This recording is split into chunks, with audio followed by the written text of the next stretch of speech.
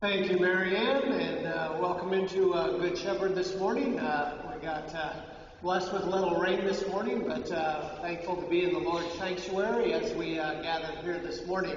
Also, want to thank you all for your prayers. my travels this week went well, other than the five gate changes at O'Hare on my way home, but that also blessed me with plenty of exercise, so that was good as well people are still flying. O'Hare was as busy as it was this summer, and uh, a lot of young people. So I don't know if people aren't in school or what's going on. But, uh, anyways, I was blessed to be with my uh, friend and his wife, and uh, we had a nice time together. So, again, thank you for your prayers. And this morning we will be praying. Uh, we have about 10 people uh, gone this morning who last Sunday told me they would be uh, gone for a week or two. So we'll have a general prayer for travel for all of them this morning. We want to welcome any visitors that are with us today. We uh, pray that the Lord would uh, bless your worship and uh, be with you in whatever you might be doing. Our order of service today will be the Divine Service setting number four. That's on page 203. Our opening hymn is 851. It is entitled Lord of Glory, You Have Bought Us. We'll stand on the fourth and final verse.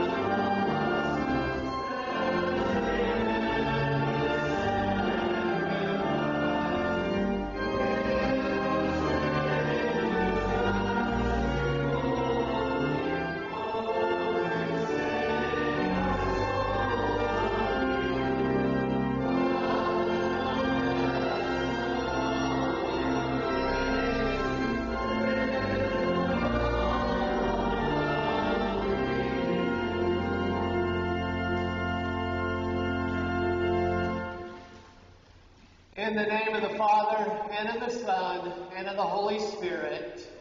Amen. Our help is in the name of the Lord. If you, O Lord, kept a record of sins, O Lord, who could stand?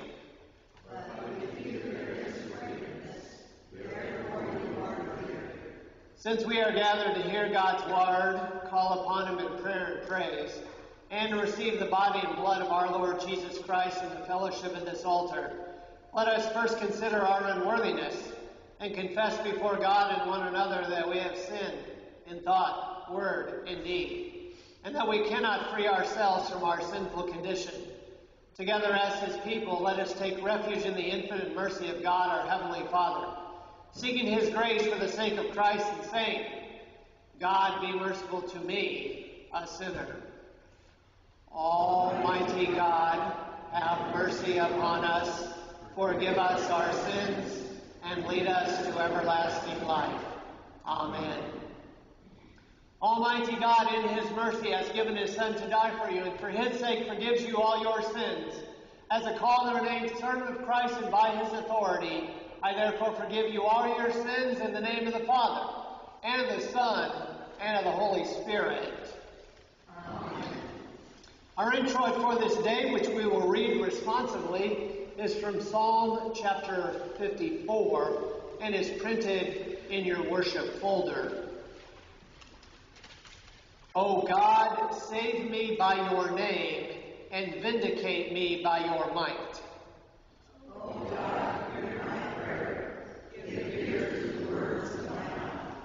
For strangers have risen against me.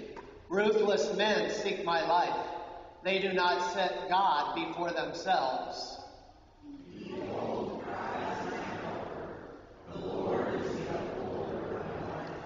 He will return the evil to my enemies. In your faithfulness, put an end to them.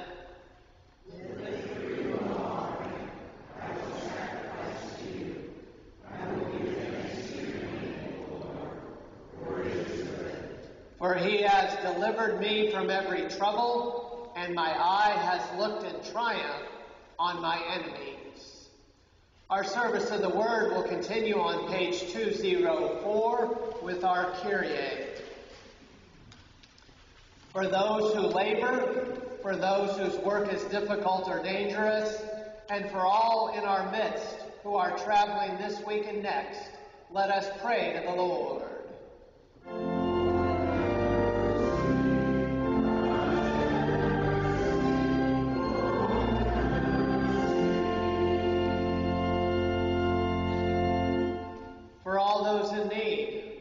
Hungry and homeless, for the widowed and orphan, and for all those in prison, let us pray to the Lord.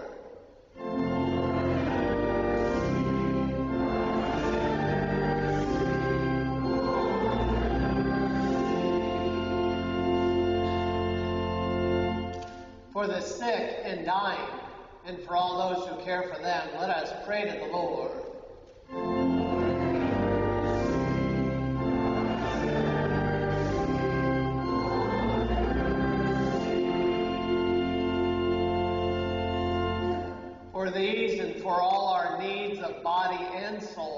Let us pray to the Lord.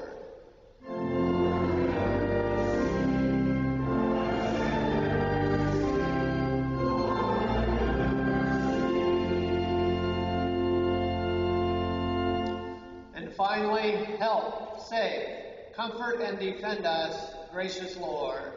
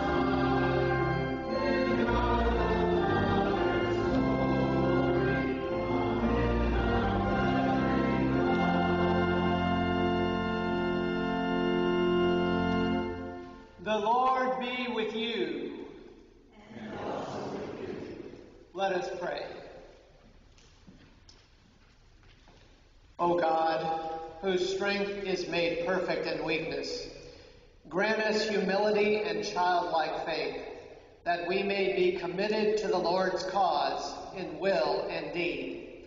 Through Jesus Christ, your Son, our Lord, who lives and reigns with you and the Holy Spirit, one God, now and forever.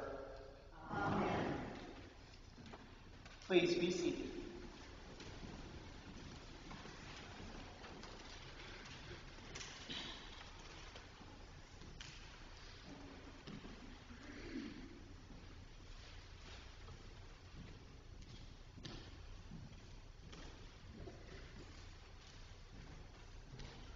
The Old Testament reading for this 18th Sunday after Pentecost is from Jeremiah chapter 11, verses 18 through 20. These verses will serve as text for this morning's sermon, and you can find it printed on the back of the worship folder. The Lord made it known to me, and I knew. Then you showed me their deeds. But I was like a gentle lamb led to the slaughter. I did not know it was against me. They devised schemes, saying, Let us destroy the tree with its fruit. Let us cut him off from the land of the living, that his name be remembered no more. But, O Lord of hosts, who judge righteously, who test the heart and the mind, let me see your vengeance upon them. For to you I have committed my cause. This is the word of the Lord. Thanks be to God.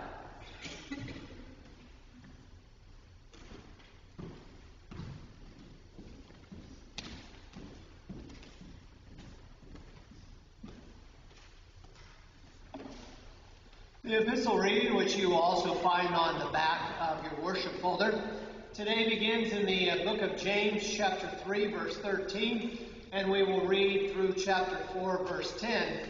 We do this as a congregation and we read it together. Who is wise and understanding among you? By his good conduct, let him show his works in the meekness of wisdom. But if you have bitter jealousy and selfish ambition in your hearts, do not boast and be false to the truth. This is not the wisdom that comes from above, but is earthly, unspiritual, demonic. For where jealousy and selfish ambition exist, there will be disorder in every vile practice. But the wisdom from above is first pure, then peaceable, gentle, open to reason, full of mercy and good fruits, impartial and sincere. And a harvest of righteousness is sown in peace by those who make peace. What causes quarrels and what causes fights among you? Is it not this, that your passions are at war within you? Your desire and do not have, so you murder. You covet and cannot obtain, so you fight and quarrel. You do not have because you do not ask. You ask and do not receive because you ask wrongly to spend it on your passions. You adulterous people, do you not know that friendship with the world is enmity with God? Therefore, whoever wishes to be a friend of the world makes himself an enemy of God. Or do you suppose it is to no purpose that the Scripture says, He yearns jealously over the Spirit that He has made to dwell in us? But He gives more grace. Therefore it says, God opposes the proud, but gives grace to the humble. Submit yourselves therefore to God. Resist the devil, and he will flee from you. Draw near to God, and he will draw near to you. Cleanse your hands, you sinners, and purify your hearts, you double minded. Be wretched and mourn and weep. Let your laughter be turned to mourning, and your joy to gloom. Humble yourselves before the Lord, and he will exalt you. This is the word of the Lord. Will you please rise?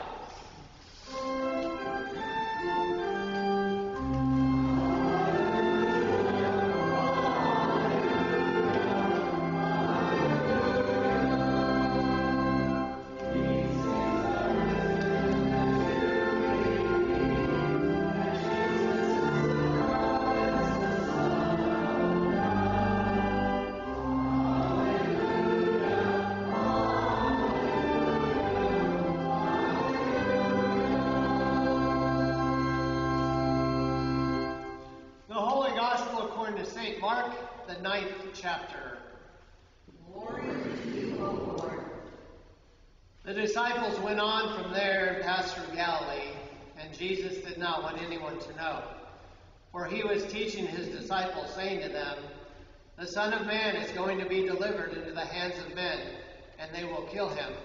And when he is killed, after three days he will rise. But they did not understand the saying, and were afraid to ask him. And they came to Capernaum, and when he was in the house, he asked them, What were you discussing on the way? But they kept silent, for on the way they had argued with one another about who was the greatest. And he sat down and called the twelve, and he said to them, If anyone would be first, he must be last of all and servant of all. And he took a child and put him in the midst of them, and taking him in his arms, he said to them, Whoever receives one such child in my name receives me, and whoever receives me receives not me, but him who sent me. This is the gospel of the Lord. Before we have our confession of faith, the Apostles' Creed, just a reminder our sermon hymn will be singing the first five verses today. And also, Marianne, there will be no pulpit surprise this morning either. So let us confess the Nicene Creed together. I believe in one God, the Father Almighty,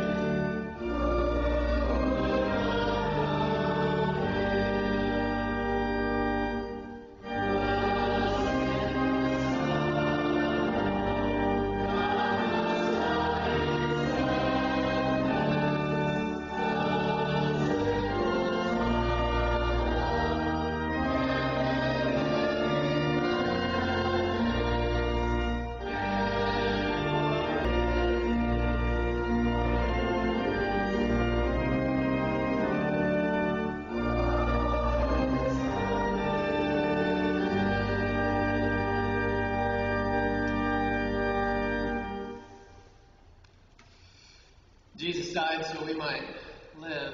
Amen. Our text for this morning will be our Old Testament lesson from the prophet Jeremiah, chapter 11, verses 18 through 20. Dear friends in Christ, to what are you committed? What commitments have you made in your life? Dr. Paul Farmer grew up in impoverished in an old bus his father, mother, and four siblings lived in. Paul was intelligent with a photographic memory. He graduated from Duke and then Harvard with a medical degree and PhD. His accomplishments are numerous. He dedicated his career to find ways to combat major health problems among the poorest of the poor. He started his work in Haiti, but it soon stretched around the globe. He became a world renowned expert on the subject, and by his mid 40s, a best selling book was written about him.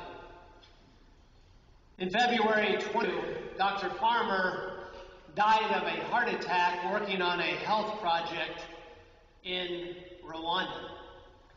He was 62. The public health community said they had lost a giant. Farmer had spent his whole career committed to the cause of improving health care for the poor around the world. He was all in for the cause. The prophet Jeremiah is committed to the cause of which God has called him. He is to make known the word of God to the people of Judah. He is to call Judah to repent of their idolatry. Can we be like Jeremiah, committed to the Lord's cause? Many of you may know Jeremiah is the weeping prophet. You see, he cries a lot because his family and hometown are plotting against him. He will suffer hardship and he will suffer persecution. And Jeremiah gets just a taste of the betrayal that would happen to Jesus. And like the Lord God, Jeremiah was trying to bring salvation to the people. Yet the more he did so, the more infuriated they were toward him. Have you ever been betrayed by family or friends? Are there those who pull away from you because you're trying to share the gospel with them? Do you have a certain challenge right now that you are up against? You see, God knew the scheming of the people before Jeremiah did. And he revealed it directly to Jeremiah.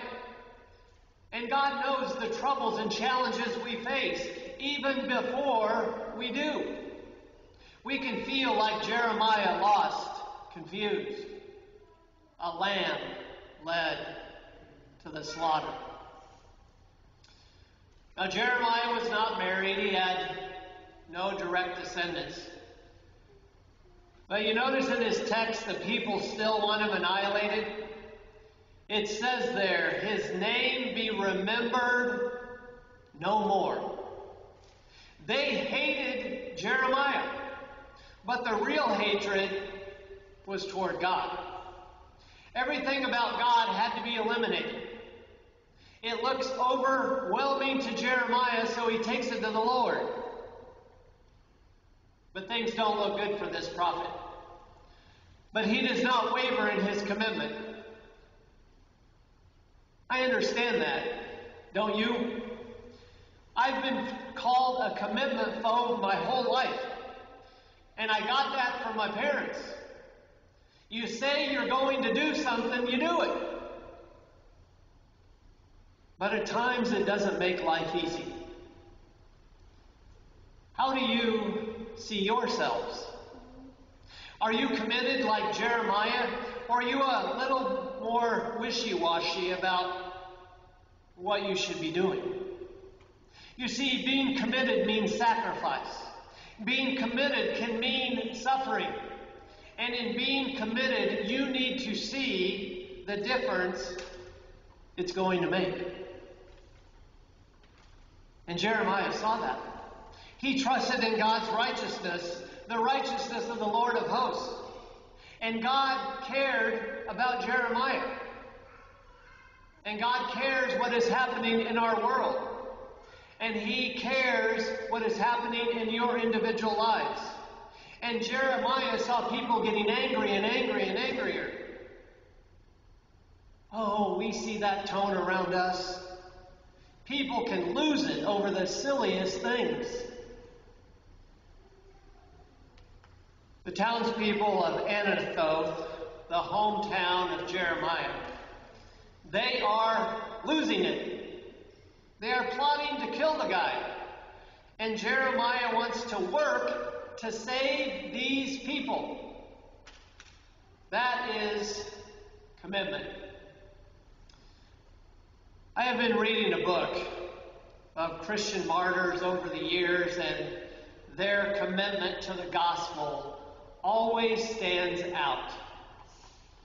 You know, I appreciate the groundwork that they have laid. But you know, I also tend to notice that maybe there was a better avenue, not as dangerous, a way to stay alive and still continue the work. And that's Jeremiah's story. The Lord brought justice.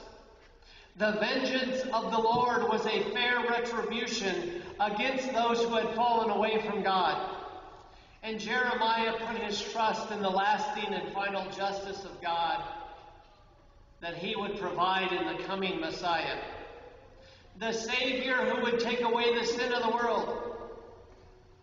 And we can have that same trust in the life, the atoning death, and the victorious resurrection of Jesus Christ. And like Jeremiah, we can commit our cause to the way of the Lord. We know the Lord is our strength, He is our shield. It gives us confidence, just like Jeremiah. Jeremiah would cover the reigns of the last five kings of Judah. He would continue to stay committed by denouncing the policies and idolatries of his nation. Can we do the same? Remember this God is faithful, God is just, God is caring. It strengthens us to stay committed to the Lord's cause. Amen.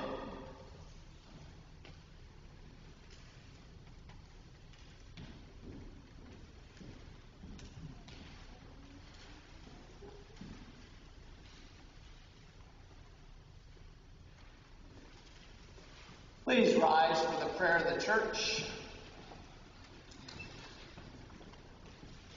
I will complete each petition this morning with Lord in your mercy. Will you please respond back? Hear our prayer. Heavenly Father, you have taken us from all nations and united us in the body of your Son. Send your Holy Spirit to rid your children of all bitter jealousy boasting, and selfish ambition. Fill the baptized with your wisdom, that we may lead peaceable lives with sincerity and love. Lord, in your mercy, Lord, in your loving kindness, you do not abandon your children to suffer alone, but promise to care for all who call upon your name. Bless the homebound, the lonely, the depressed, the anxious, those who continue to recover. We continue to pray for Nancy, Jackie, Joyce, Marlene, Shaylin. Comfort them in their distress. Heal all their ills of body and soul, and grant them peace. Lord, in your mercy, O Lord of hosts, your Son was cut off from the land of the living on the tree of the cross, that we might eat and drink the fruit of his body and blood and live forever. Grant that we may worthily receive his supper in remembrance of him. Lord, in your mercy.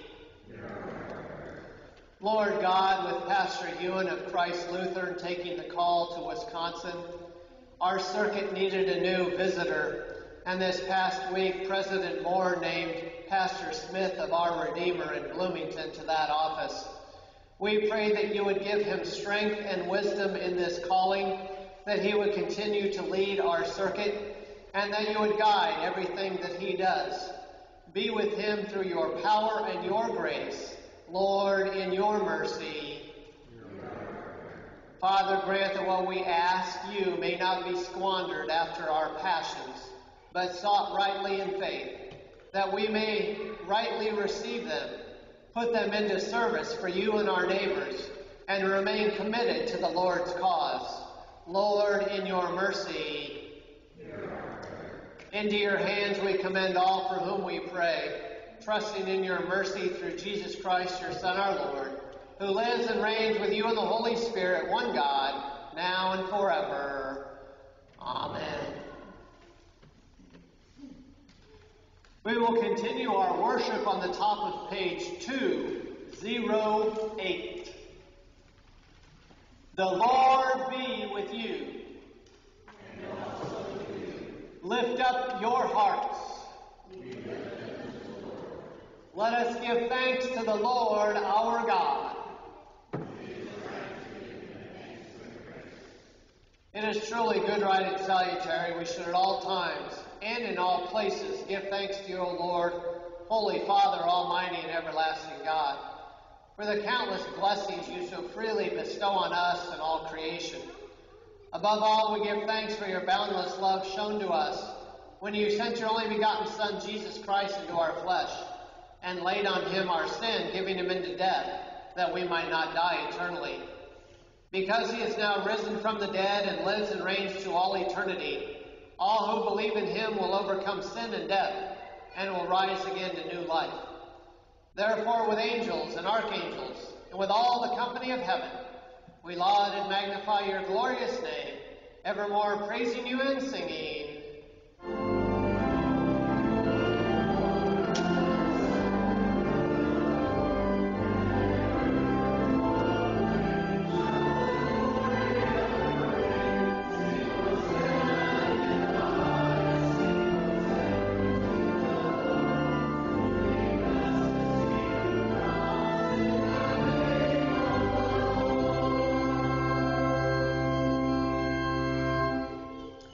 Blessed are you, O Lord our God, King of all creation, for you have had mercy on us, and have given your only begotten Son, that whoever believes in him should not perish, but have eternal life.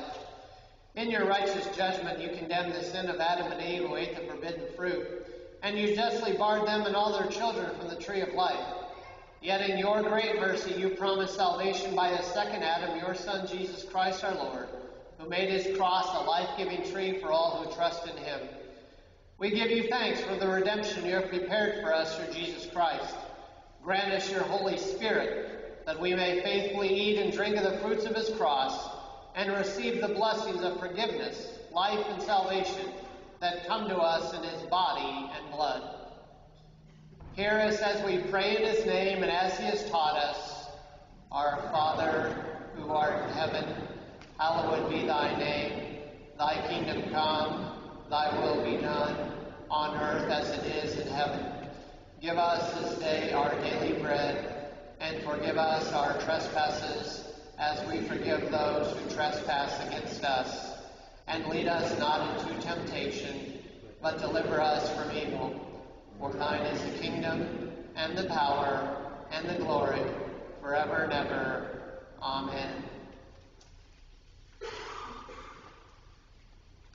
Our Lord Jesus Christ, on the night when he was betrayed, took bread.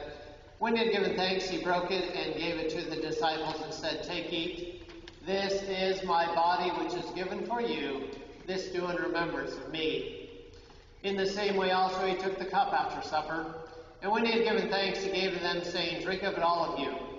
This cup is the New Testament in my blood, which is shed for you for the forgiveness of sins. This do as often as you drink it in remembrance of me. The peace of the Lord be with you always.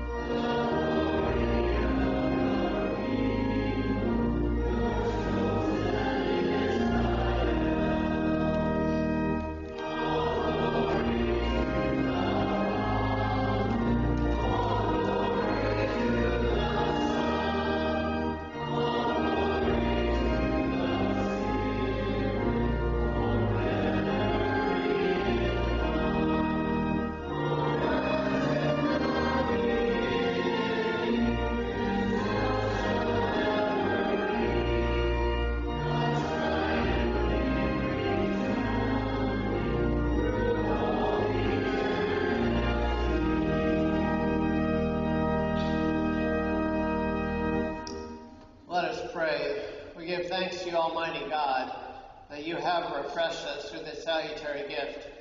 And we implore you that of your mercy you would strengthen us through the same in faith toward you and in fervent love toward one another.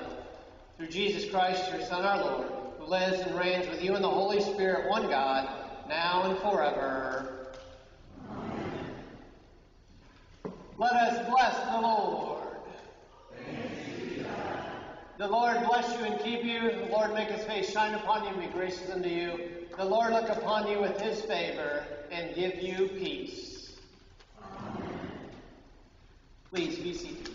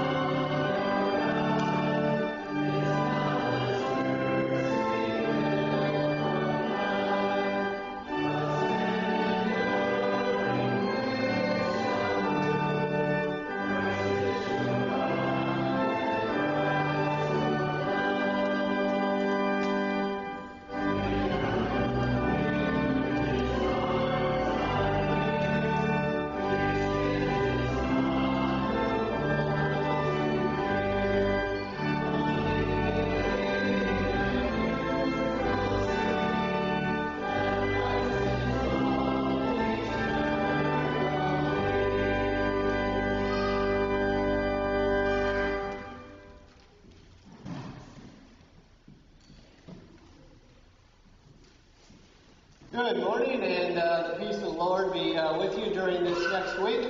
Uh, just a couple of things. Uh, we're going to keep the containers out there for members who uh, want to grab one for our thank offering uh, through next summer when we have our 25th anniversary of being here in this church.